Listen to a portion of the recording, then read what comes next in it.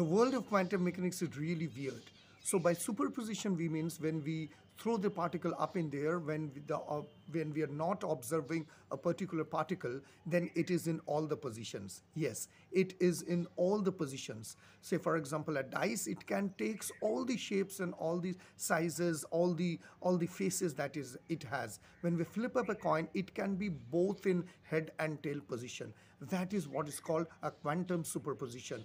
This superposition has been proved and used by the recent Nobel Prize laureates like Alain Aspect and others, and there has been a violation in Bell's theorem.